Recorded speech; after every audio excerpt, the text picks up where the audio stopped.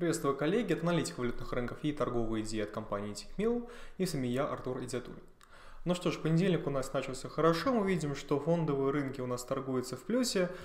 По э, фьючерсам на американский индекс мы видим положительную динамику, они у нас э, приблизились к новым э, историческим максимумам. Максимум был по SP 500 это уровень 3900 пунктов, там практически плюс-минус.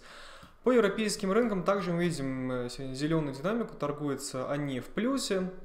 Собственно, мы обсуждали, я напомню, этот момент на прошлой неделе. А, тогда я писал о том, что SP500 готовится у нас к новым э, максимумам. Собственно, для этого поступил ряд новостей, которые упростили а, движение рынка в этом направлении. Ну, я напомню, да, если кратко. Значит, у нас по а, вакцинам а, улучшились ожидания по поводу того, как у нас идут, э, проходят темпы вакцинации.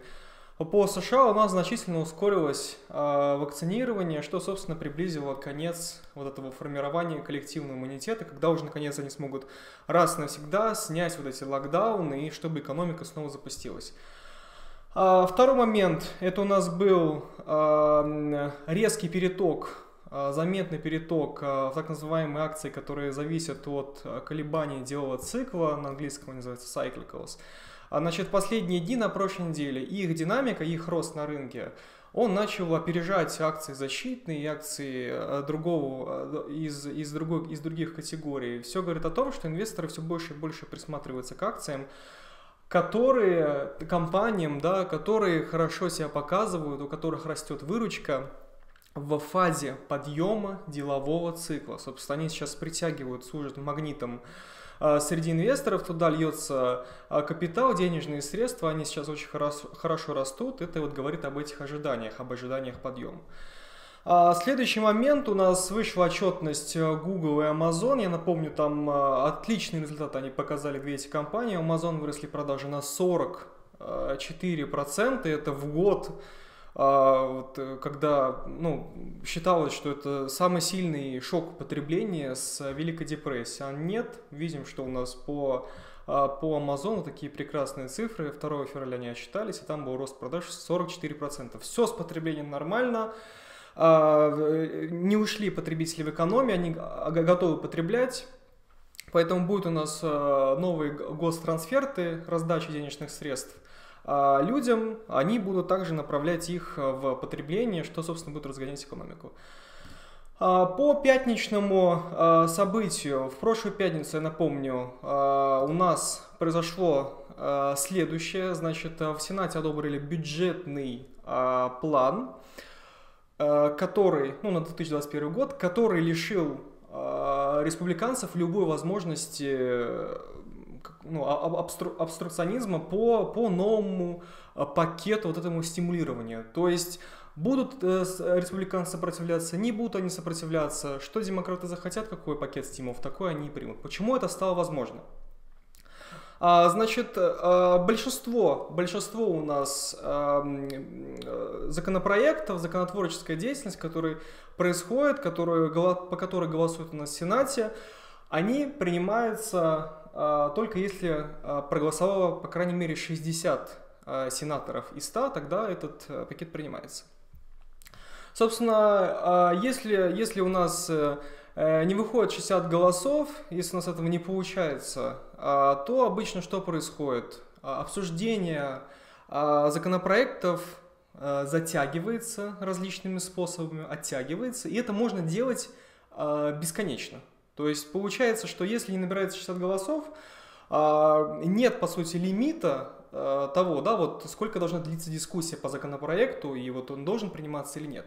Только лишь в отдельных случаях а, позволяет как бы форсировать э, события и вот привести к тому, что по законопроекту требуется уже не 60 голосов, а, большое большинство, то есть 51 голос. То есть по отдельным законопроектам, которые касаются, в частности, одобрения бюджета. Собственно, в пятницу был вот э, Именно такой вот случай произошел. А, смогли они, собственно, принять бюджетный план, который вот предусматривает возможность, что по новому пакету стимулов уже нам, а, получается, потребуется не 60 голосов, а 51. в Сенате. И я напомню, что у нас демократы Сенаты, э, демократы и республиканцы разделили Сенат поровну по 50 мест. Но, но право решающего голоса у нас э, за вице-президентом э, Камалы Харрис, которая, собственно, является представителем демократов, и она э, будет, ну, естественно, склонна э, принимать решения, склонять все, э, любое голосование, которое выгодно демократам, ну, в пользу демократов, да, она будет голосовать демократов. Собственно, это тот случай, когда вот, э, э, по сути, у нас у республиканцев есть 50 мест, но они абсолютно бессильны. А сейчас по, по вот этому новому пакету стимулов они не смогут никак противостоять. И э, демократы, они, скорее всего, смогут принять вот этот пакет стимулов в 1,9 триллиона долларов, который предложила администрация Байдена, из которых львиная доля пойдет в, в, в руки э, гражданам, домохозяйствам, которые, естественно, это будут э, тратить э, и так далее. Собственно, эта новость, она вызвала бурную реакцию на фондовых рынках. Мы видим вот такую вот динамику во фьючерсах. На индексе S500 с легкостью он достиг уровня 3900, как мы, собственно, ну, обсуждали с вами на прошлой неделе.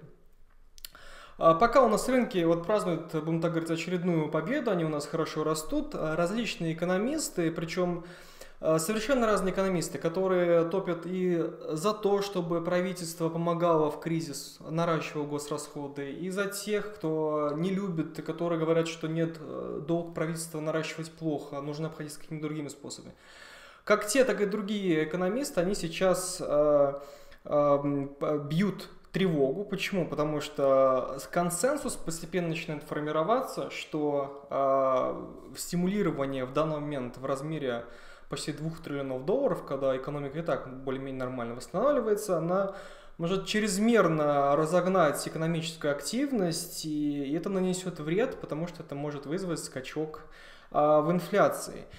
Если мы посмотрим, что у нас сейчас уже происходит а, с с потребительской инфляцией, что у нас происходит с инфляцией на а, сырьевые товары, то вот тут есть у нас такой график.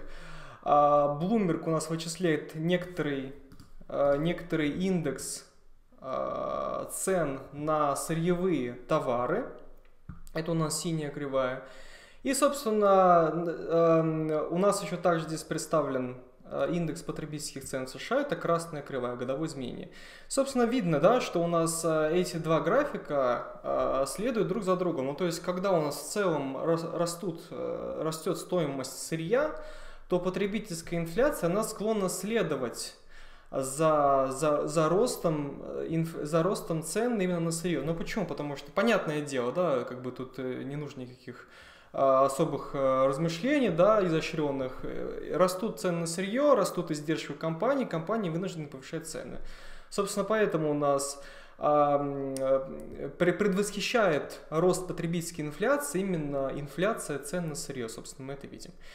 И что можно заметить? Вот, вот у нас в последние данные показывают, что ускорился у нас, получается, рост цен на сырье, за год он прибавил почти 25%. То есть вот индекс, некоторая корзина из, из э, сырьевых товаров, да, а рост цены составил за год 25%.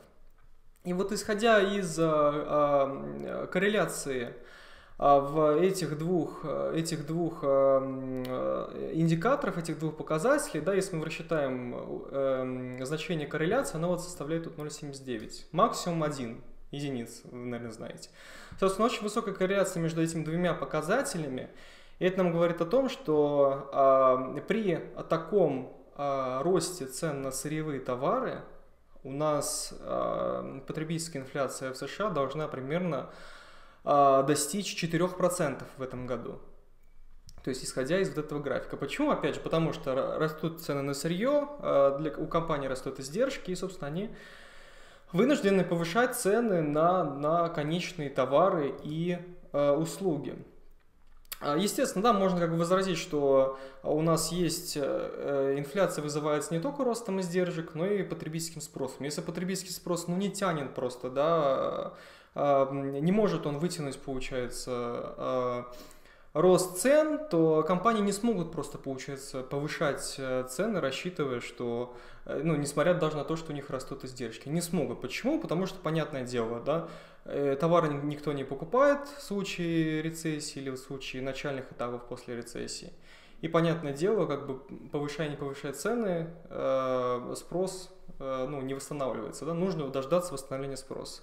Собственно, поэтому у нас, да, есть вот эта зависимость, но, но а следование потребительской инфляции за ценами на сырье ограничивает как раз-таки возможность потребительского спроса поддерживать эту тенденцию. Но нужно заметить, что в 2020 году а, у нас восстановление а, после вот, э, после вот этого кризиса пандемического, оно было достаточно быстрым, и оно достаточно быстро сейчас происходит. И второй момент, правительство у нас э, США намеренно напрямую воздействовать на потребительский спрос, правильно, путем раздачи э, денег, э, на потребительские расходы, точнее, да, вот, э, вот этих посредством гострансфертов, и это вот, а, вот этот момент, вот, вот эта тенденция, вот это решение правительства вот, это, вот именно так воздействовать, оно как раз-таки может убрать вот этот барьер а, для, для инфляции издержек, да, потому что потребительский спрос растет, и все, инфляция издержек, нет барьера в виде слабого потребительского спроса.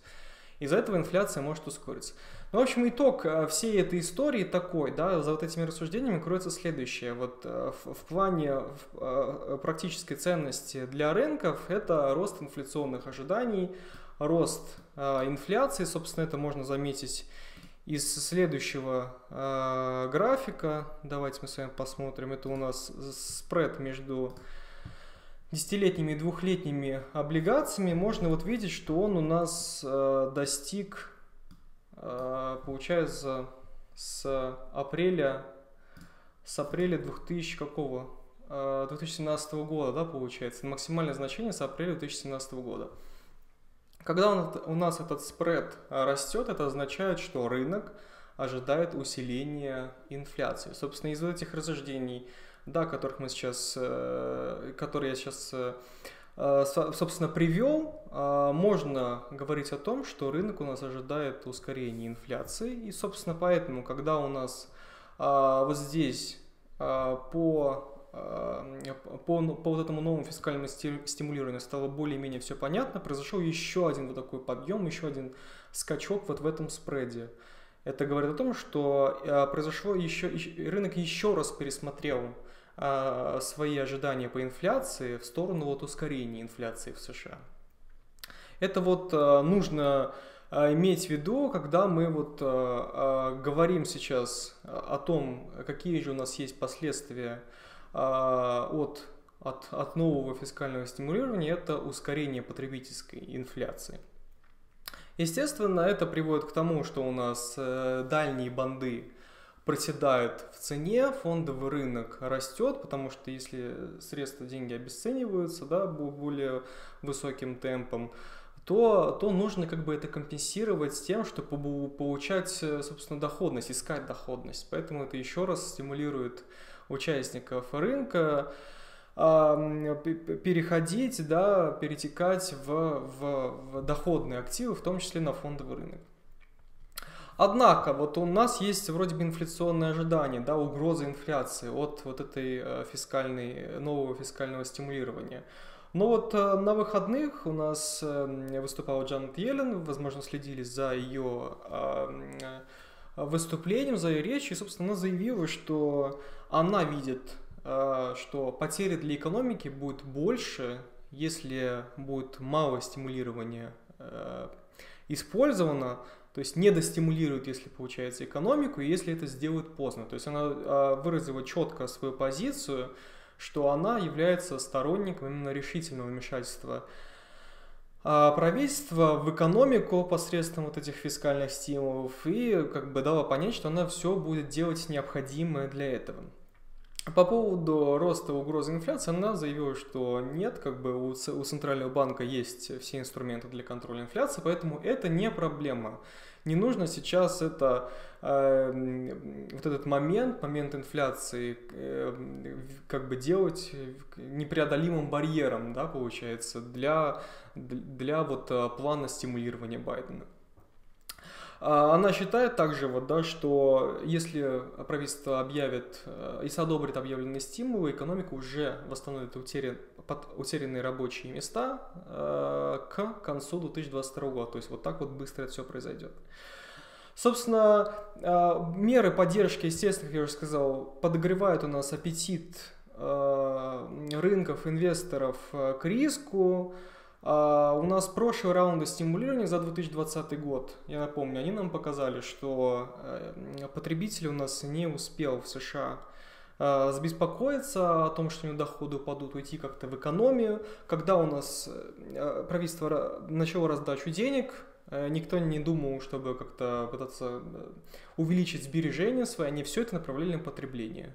И, собственно, следующее стимулирование, оно, скорее всего, также будет э, большая часть э, денег, которые раздало правительство, оно вновь, вновь, получается, уйдет в экономику, люди будут потреблять. Естественно, это увеличит выручку компаний того же самого э, того же самого Amazon, получается, да и других компаний, которые, собственно, растут в фазе подъема делового цикла. Собственно, поэтому сейчас эти компании и растут, потому что ожидается, что а, увеличенное потребление, скачок в потреблении, да, который произойдет от нового фискального стимулирования, он выразится в том, что увеличится выручка этих компаний.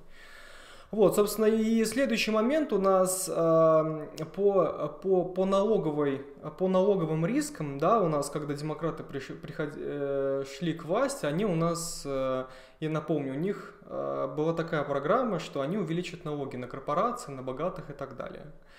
И вот э, по прошествии некоторого времени сейчас их риторика концентрируется всецело на том, чтобы вот влить денег в экономику, чтобы занять чтобы правительство за него и влило деньги в экономику. Пока э, никто о налогах не говорит, складывается впечатление, что они откладывают вот эту риторику, да, вот, вот эти проекты все по налогам в долгий ящик, они ждут, пока экономика встанет на ноги. И тогда они уже будут говорить о повышении налогов э, для, для корпораций, для богатых и так далее, да, что является негативным сигналом для рынка. У нас вначале была негативная реакция, а, проскочило пару комментариев, но вот, э, как я уже сказал, риски по налоговой теме, они не материализовались, собственно, поэтому у нас от демократов сейчас для рынков э, происходят только положительные сигналы, которые вот связаны с вот этими стимулами. Поэтому я как бы рассчитываю, что у нас дальше по S500 продолжится э, вот это движение. Мы уже, получается, отыграли вот здесь э, коррекцию, да, я указывал на уровень 3650, как некоторую отправную точку, плацдаром для роста. Собственно, мы вот двинулись э, вот здесь всецело на ожиданиях нового стимулирования, и пока вот эта риторика развивается сейчас, развивается это обсуждение, да, нет никаких абсолютно препятствий для рынков, чтобы дальше не идти а, вверх. А, это все, о чем я вам сегодня хотел рассказать. Если у вас остались какие-то вопросы или комментарии, можете задать их под видео. Не забудьте поставить лайк, если вам это видео понравилось. На этом у меня все. Всего доброго, торгуйте в профит.